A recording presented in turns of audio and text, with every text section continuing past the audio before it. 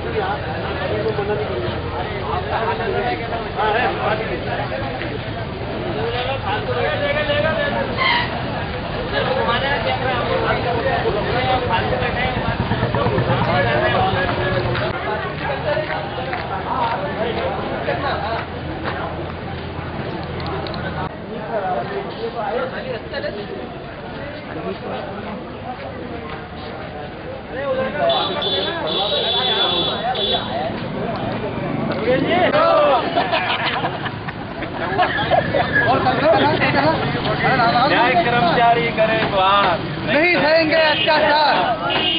हमारी मांगे पूरी करो पूरी करो पूरी करो। जिंदाबाद। जिंदाबाद जिंदाबाद। हमारी मांगे पूरी करो। पूरी करो पूरी करो। बोलेगा पूरी करो। हमारी मांग। है पूरी करो।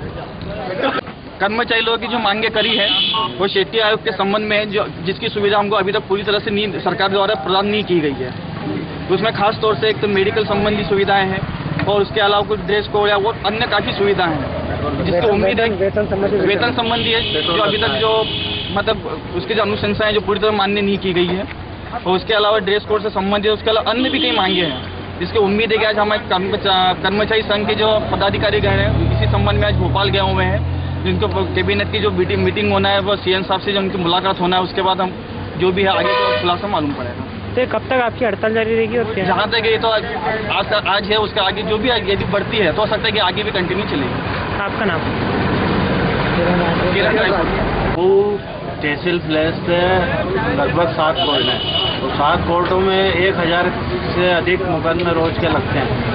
कई मु- ज़्यादातर ग्रामीण व्यक्ति आते हैं, गाँव, दूर दूर के गाँव से आते हैं और ये जो हड़ताल हुई है, इस हड़ताल से सीधे सीधे पक्षकारों को फ़र्क पड़ा है। जो व्यक्ति शनिवार को किसी वारंट में या छोटे मोटी धाराओं में जेल गया है इतवार छुट्टी थी और सोमवार से बुधवार तक हड़ताल में वो जेल में रहेगा। शुक्रवार, गुरुवार को अनंत चौदस के दूसरे दिन की छुट्टी है, शनिवार, शुक्रवार का एक दिन रहेगा।